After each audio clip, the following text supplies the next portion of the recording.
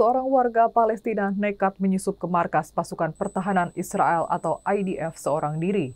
Dengan santai, ia mendekati mobil yang diduga dimanfaatkan sebagai rumah oleh para tentara. Kemudian ia menumpahkan bahan bakar dan membakarnya dari depan hingga belakang.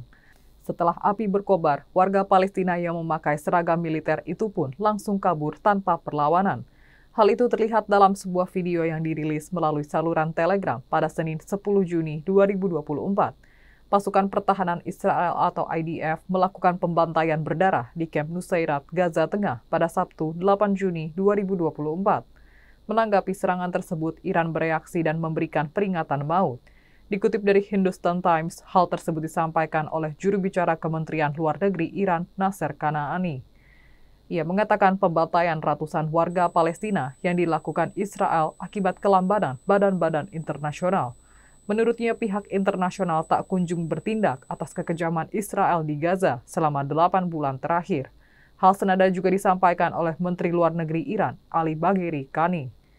Ia memberikan peringatan maut kepada Israel jika negara tersebut mencoba mengganggu stabilitas kawasan.